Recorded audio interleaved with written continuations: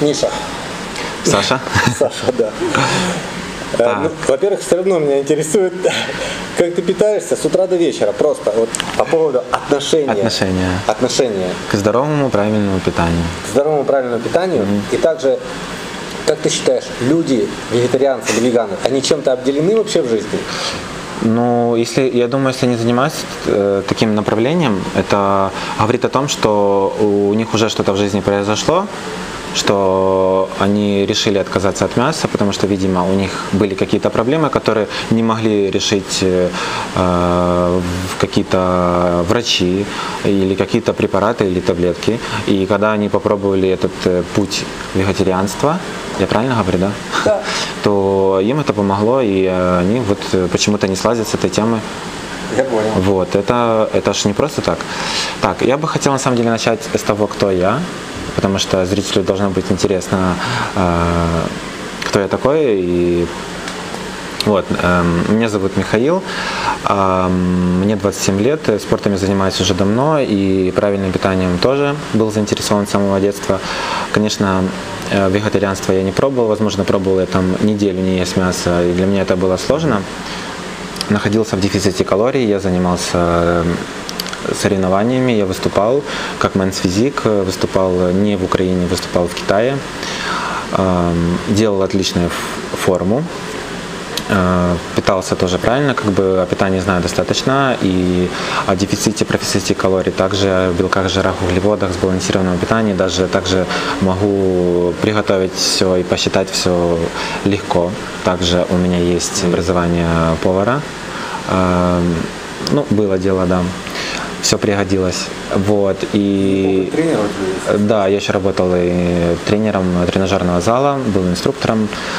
Вот. Но когда я работал тренером, я, возможно, не был настолько... Я не владел так много информации, как я вот когда уже начал выступать и прошел этот путь сам и прочувствовал на себе. Вот.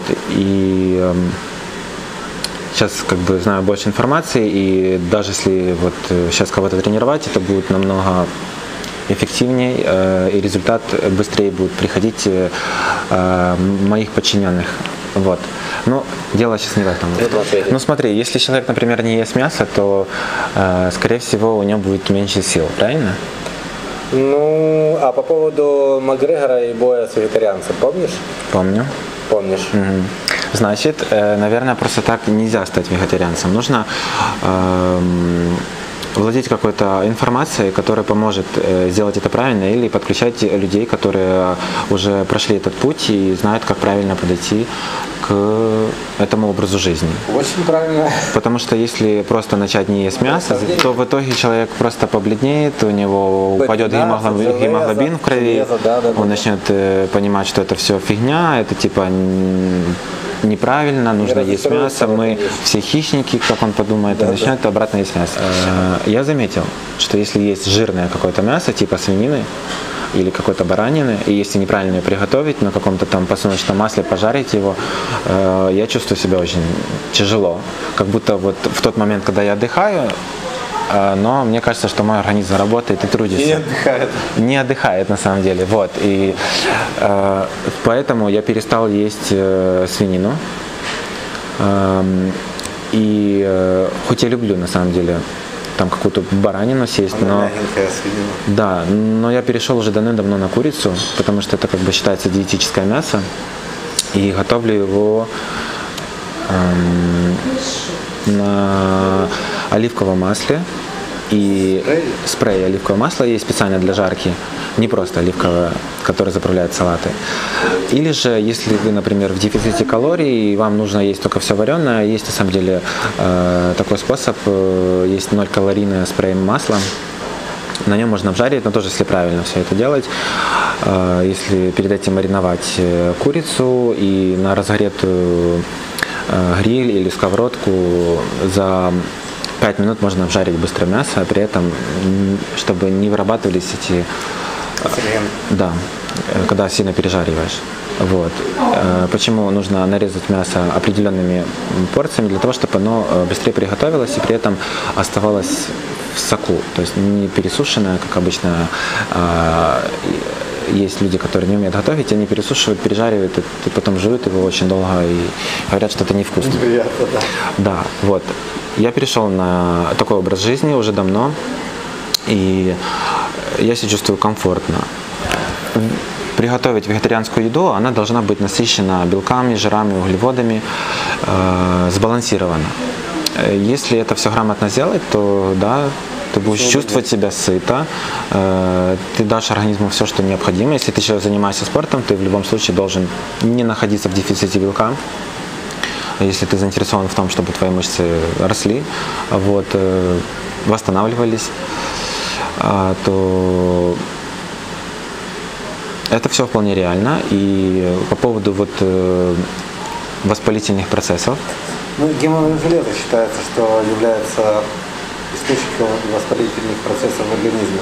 Геловое железо присутствует в животных жирах, а непосредственно в мясе, в красном мясе, в обычном мясе. Mm-hmm. Ну, по поводу красного там его больше, в таком мясе меньше, но оно присутствует. Да. И оно является основным источником, э, скажем так, э, этих воспалительных процессов, э, с которыми, конечно, борется наш иммунитет. Но тем самым мы просаживаем иммунитет, который мог бы бороться с чем-то другим. То есть организм тратит на это кучу кучу энергии, тем самым оставляя шанс для других.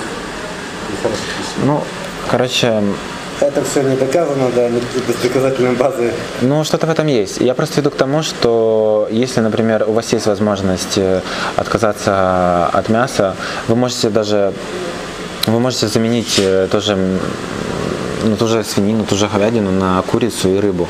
Потом мягко сойти с курицы и оставаться на рыбе. Да? Да, да. А также эм, уже, вы уже себя почувствуете лучше. Конечно, изначально будут какие-то там э, симптомы в плане какой-то раздражительности, а потому что организм будет непривычно перестраиваться, но в, с, если побороть эту, э, как бы так, первый этап, то вам даже будет в кайф, потому что ваш мозг, он будет... Э, перестраиваться он будет более сообразительнее, у него будет больше энергии, больше ясности. А, я вот когда находился в дефиците калорий, у меня э, был в рационе, была в рационе курица э, максимум, да. У меня было много овощей, а, у меня были только медленные углеводы. И было такое, чисто для эксперимента, убирал вообще углеводы, был только на овощах. И мне очень нравилось, как я себя чувствовал. Но я просто находился в дефиците калорий, и поэтому я не мог так долго находиться на такой диете. А, потому что у меня была просто цель э, э, просушиться, э, уменьшить количество жира под кожей максимально. Вот. И как бы долго в таком состоянии находиться тяжело, потому что это как бы неестественно для организма, он находится, находится в таком стрессе. Вот. Но я помню это состояние, мне оно очень нравилось. И когда я уже мог уже после соревнования есть все, что я захочу, и даже я помню первые там три дня, когда я ел просто все, мне не нравилось, как я себя чувствовал. У меня была жажда э, голода, я всегда, вот, я, мне нравилось, что я мог ее погасить, съесть все, что я захочу, но когда я вот наедался, это было самое ужасное чувство. Я себя отвратительно чувствовал. Просто максимально. Я себя чувствовал, э, я чувствовал, как мой мозг, ему даже, он начинал экономить энергию, и э, мышление менялось, да, и состояние тяжелое было, и повышалось, возможно, давление, потому что большое э, количество еды поступало в мой организм. Но и мне даже хотелось вернуться на, в тот дефицит калорий, который был, чтобы немножко как-то э, кайфануть еще от того состояния, когда ты в дефиците калорий. Вот. Но, конечно, голод побеждал. Но если можно питаться тоже также э, переходить даже больше на овощи, там иногда добавлять в рацион даже ту же курицу или рыбу, э, то и при этом э, находиться в э, в норме калорий, или там в профиците, если нравится есть больше, но при этом вы будете также себя чувствовать. Но если, конечно, есть э, жирную еду в плане там э, э, свинина, говядина или же тот же сладкие напитки и те же там шоколадные батончики, э, чипсы, там количество жиров в них просто большое, и как бы уже когда ты находишься в дефиците калорий именно этих продуктов, то организму твоему становится тяжело, и ты это чувствуешь. Нету такого уже такой бодрости, такой ясности, э, ну, чувствуешь себя свиньей. Возможно, ты это, в этом не сразу признаешься, ты почувствуешь себя сытым, э, но можно быть сытым и по-другому. Как бы. Э, это реально. Просто нужно это сделать все грамотно. И если, например, в вашем организме не будет хватать каких-то витаминов, потому что вы питаетесь очень правильно, но э, какой-то дефицит витаминов будет происходить, есть БАДы. Их можно купить, они эм, доступны и по цене не очень дорогие любые витамины, даже те же комплексные, э, та же омега-3, э, это все можно купить и вместе принимать э, с едой во время еды, и их можно принимать всю жизнь. Да? Да, я так тоже считаю, и это научно доказано, никакого вреда это не несет эм, потому что мы живем сейчас в такое время, что мы всегда находимся в дефиците калорий, особенно для тех людей, которые занимаются спортом, им всегда нужны витамины, минералы, белки, жиры, углеводы и обязательно нужно пить сырую воду. Это очень важно. Да.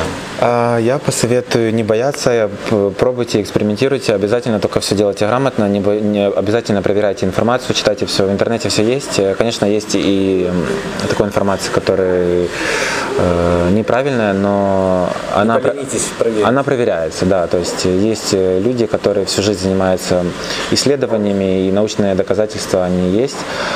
А, вот. Э, если финансы позволяют, нанимайте себе кураторов, которые, у которых э, есть, э, которые этим занимаются и специализируются на этом. Да, специализируются по этому вопросу, по питанию, по какому-то курсу ведения каких-то там тренировок тех же.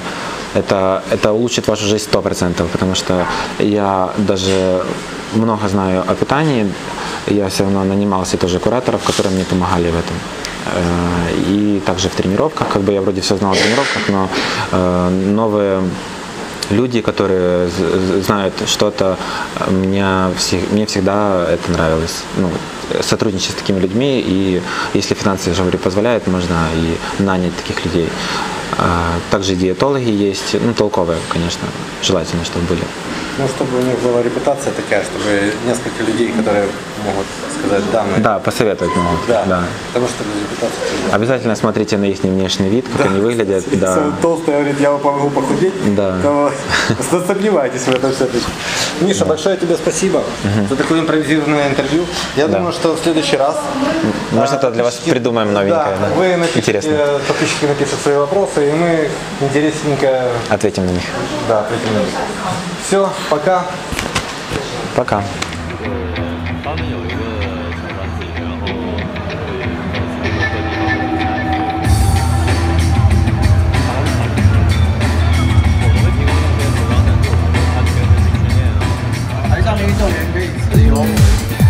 It